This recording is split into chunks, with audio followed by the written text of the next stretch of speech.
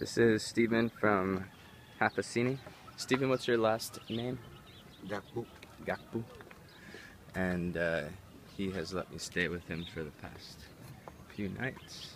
Half Assini is right here on the beach in Ghana. The first president of Ghana went to school in this church right there. It's a monastery. And tell me, what are your dreams as a person to be successful in life? I'm a, gra- I'm a graduate of SS and I'm planning to be a diver in future.